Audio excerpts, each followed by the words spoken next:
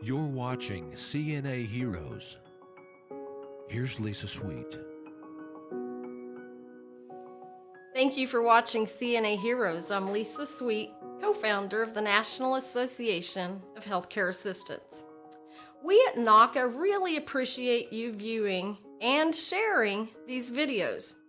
I've spent 20 years of my life, 20 years of my career recognizing and honoring CNAs and trying to get society to do the same. So often, CNAs are taken for granted, and their hard work and dedication isn't always publicly appreciated. This is my format to help CNAs and the CNA profession get the well deserved positive recognition. So please share. Working in healthcare, I have often heard derogatory remarks from older, seasoned nurses about young people, how they don't care about anything but themselves, how they're selfish and lazy.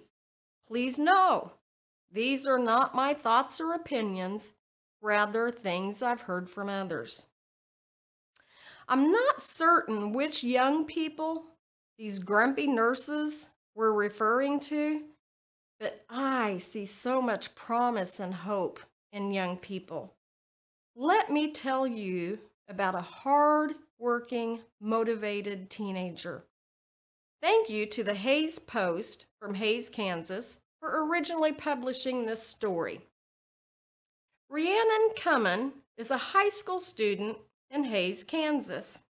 She has had a passion for several years to become a nurse, and with the help of her community, she's doing just that. She chose to attend an alternative virtual high school called the Learning Center so that she can study at her own pace. She drives into Hays each day to attend the Learning Center. She pays for her own gas earned from a part time job she works in between her studies. Rhiannon has applied herself like no other student.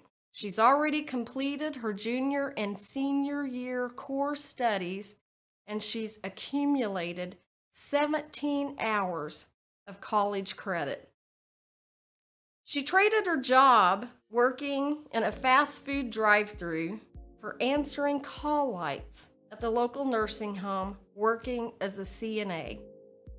She will be graduating high school in 2020 and she is well poised to further her nursing education.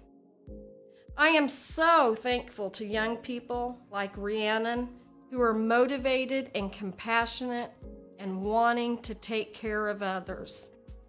So please join me today in celebrating a very motivated young CNA who aspires to greatness, Rhiannon Cummin, CNA Hero.